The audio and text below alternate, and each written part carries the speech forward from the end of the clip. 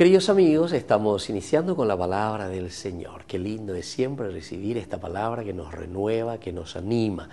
Hago angañas en la lectura de la carta del apóstol San Pablo a los Efesios, cristianos de Éfeso, capítulo 1 del 1 al 10.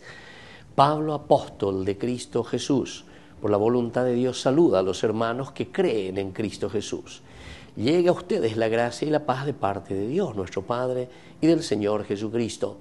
Bendito sea Dios el Padre de nuestro Señor Jesucristo, que nos ha bendecido en Cristo con toda clase de bienes espirituales del cielo y nos ha elegido en Él antes de la creación del mundo para que fuéramos santos e irreprochables en su presencia por el amor.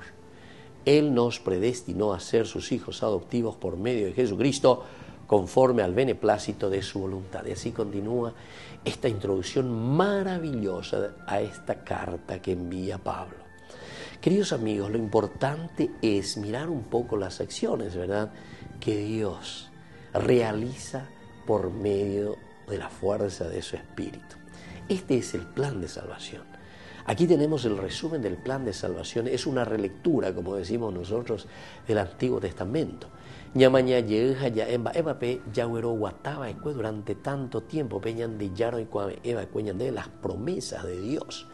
Y ahora nosotros, ya yepo ya ese ñamaña ya esa ya yetu ese ya guatajanguaisa peñan de yara o yerure de nos ha predestinado, nos ha bendecido, nos ha elegido, nos ha destinado, nos ha concedido. Belleza cuava yo que vaya va de yara ñandera ju ome eñande iñande na ave ame ebm y cuave ebm ahora la pregunta nuestra es justamente si nosotros cumplimos y si hacemos la voluntad del Señor.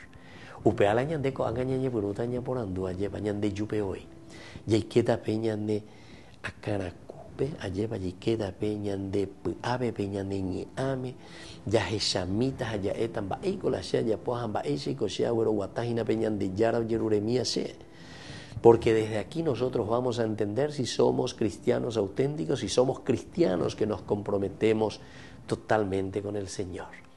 Pidamos esta gracia, queridos hermanos, hoy en este día que estamos iniciando. Pensar, ver, mirar, peñande apuesto hesha de yara.